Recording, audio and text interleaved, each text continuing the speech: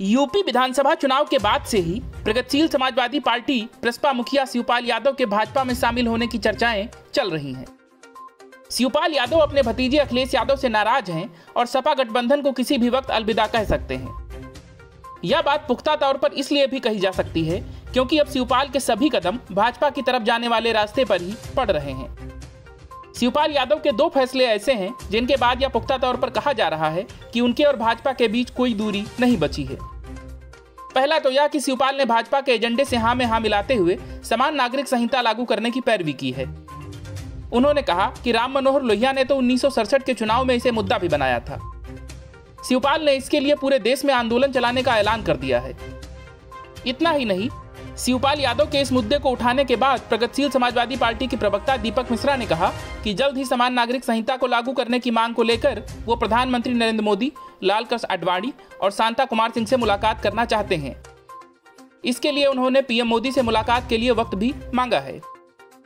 वहीं प्रसपा अध्यक्ष शिवपाल यादव ने प्रसपा की सभी प्रादेशिक और राष्ट्रीय कमेटियाँ भंग कर दी है। इसे शिवपाल यादव के अगले राजनीतिक कदम की शुरुआत के तौर पर देखा जा रहा है। कई राजनीतिक जानकारों का कहना है कि शिवपाल का यह कदम उनके आने वाले बहुत बड़े फैसले की शुरुआत है। गौरतलब है कि शिवपाल ने पिछले दिनों कहा था कि वो उचित समय जल्द आने वाला है, जिसका सबको इंतज़ार है।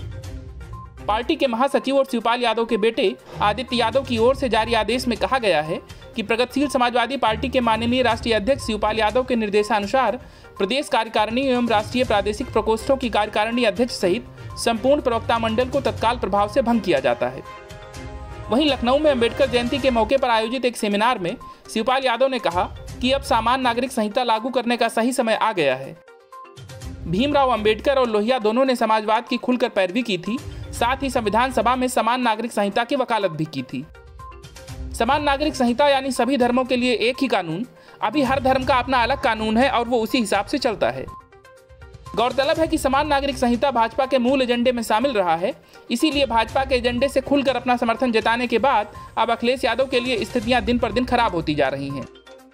क्योंकि एक तो उधर आज़म खान की बगावत के बाद सपा से मुस्लिम वोट टूटने का खतरा बढ़ चुका है और शिवपाल के जाने के बाद यादव मतदाता भी छिटकेंगे।